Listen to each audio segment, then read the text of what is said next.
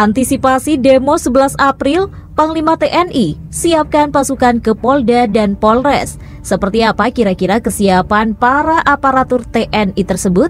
Ini dia informasi selengkapnya. Tapi sebelumnya jangan lupa subscribe channel ini dan nyalakan tombol loncengnya.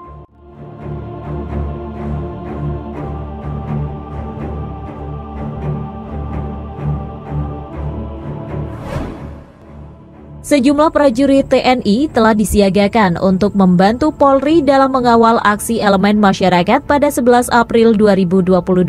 Panglima TNI Jenderal TNI Andika Perkasa menjelaskan, prajurit TNI bersifat membantu pengamanan aksi 11 April 2022. Dalam proses pengamanan, Andika memastikan prajuritnya tetap mengikuti prosedur pengamanan dan tidak akan melakukan tindakan represif saat membantu polisi menjaga aksi demonstrasi pada 11 April 2022 berjalan tertib dan damai.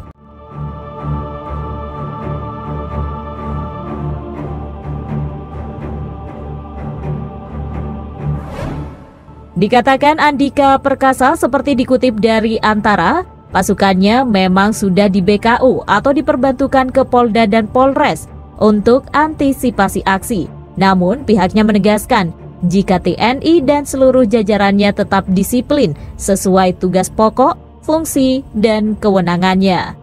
Andika juga menghimbau agar peserta aksi tetap tertib, tidak anarkis, dan tidak melanggar hukum.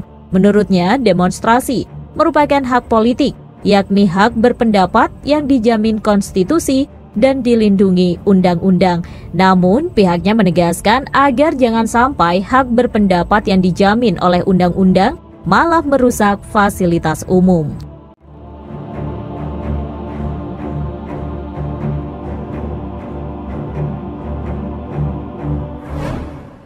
Sebelumnya, Badan Eksekutif Mahasiswa Seluruh Indonesia atau BEMSI akan menggelar aksi demonstrasi di kawasan Istana Negara, Jakarta pada Senin 11 April 2022. Dalam aksinya nanti, BEMSI menargetkan akan mendatangkan seribu masa aksi. Para demonstran yang direncanakan hadir itu berasal dari 18 kampus. Koordinator BEM-SI Kaharudin menjelaskan, alasan pihaknya kembali menggelar aksi demonstrasi setelah aksi mereka pada 28 Maret 2022. Menurutnya, aksi kali ini merupakan lanjutan dari aksi sebelumnya, sekaligus menagih janji terkait tuntutan pihaknya yang telah disampaikan sebelumnya. Dikatakan Kaharudin pada Kamis 7 April 2022, aksi 11 April 2022 adalah untuk meminta jawaban dari aksi tanggal 28 Maret 2022 tentang bagaimana pemerintah atau Presiden Jokowi menjawab tuntutan para demonstran selama 14 hari terakhir.